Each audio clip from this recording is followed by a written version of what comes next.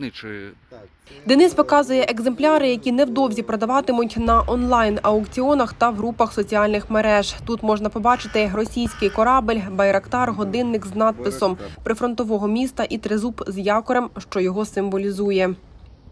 Це теж символ виконаний.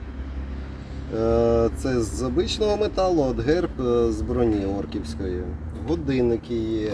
Є у нас ось такі марки. Вони більш дешеві. Йдуть, е, це герб тільки з орківської сталі. Сама марка з звичайного металу. Е, Ось така символ міста Миколаєва це повністю з броні МТЛБ. МТЛБшка з Вознесенського напрямку. За словами Дениса, з початку повномасштабного наступу російських військ на його підприємстві обробили понад 2 тонни металу.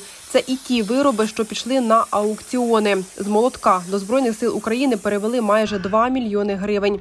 Покупці є в Україні та поза її межами. На всіх виробах є координати, де була розбита техніка. Тут вони ось тут відбиті. І серійний номер. Кожен виріб, е, там є серія, до- цих буде 100 штук. Всього залишилось вже 50, е, 50 екземплярів, та серія буде закрита, більше ніколи не буде повторюватися. Плазмова різка. Так розтрощені українськими військами борти окупантів перетворюють на елементи декору, подарунки або сувеніри.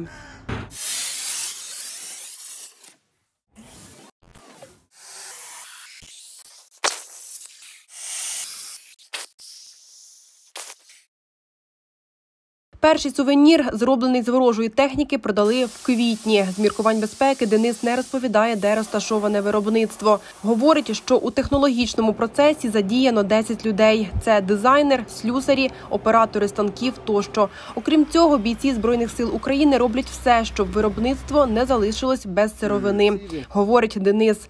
Олександр Гордієнко, Вікторія Андрушків. Єдині новини на Суспільному. Миколаїв.